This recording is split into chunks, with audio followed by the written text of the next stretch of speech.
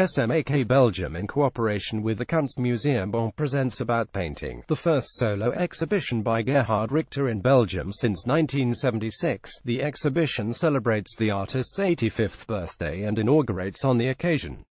Gerhard Richter was born in Dresden in 1932 and was trained in the East.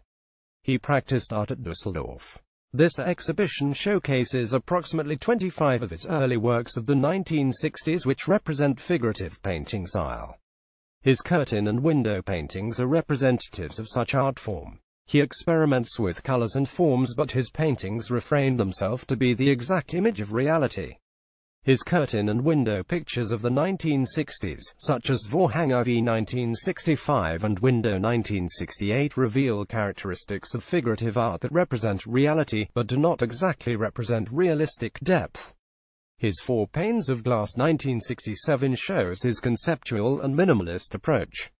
According to Richter painting means designing surfaces, experimenting with the illusory nature of art. His 256 Farben 1974 shows random splashes of color, as color is an important component of his art, which is also represented in his scraped paintings. A recent work 2016 is on display in this exhibition.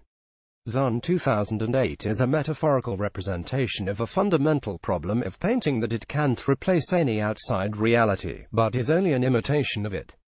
House of Cards 2013 is made up of seven panes of glass, perilously leaning on each other, which reflect the surroundings. The unique strip paintings 201,115 are made of digital recombination of existing paintings. Richter's recent works show the evolution of the artist from figurative paintings of the 60s to his modern-day inclination on virtualization and technologies. The exhibition will be on view from October 21, 2017 through February 18, 2018 at SMAK Gallery, Jan Hoetplein 1, 9000 Gent. Belgium. For details, visit www.smak.be.